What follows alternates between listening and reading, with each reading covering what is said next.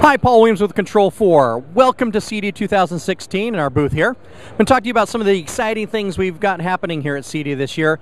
One of the most exciting things we're announcing is our integration with Amazon Alexa. And Amazon Alexa has taken the world by storm. People are putting their homes left and right, and we have an amazing integration with Alexa. We are a native skill within Amazon for this device. What that means is that homeowners can connect this to their home and can control all the home automation in their home by just asking in clear text what they want to do. So Alexa, turn on the lights. Alexa, good night, and have the system react to it and, autom and automate the home using their voice.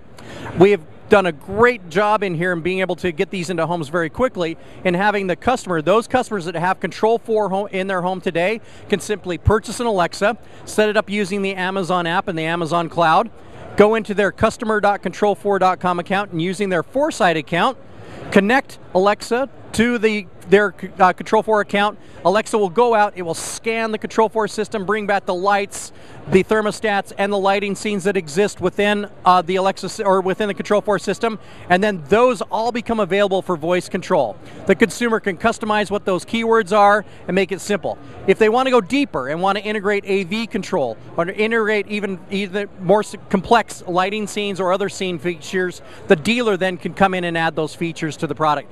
Really cool integration with uh, Amazon Alexa. We're excited about it.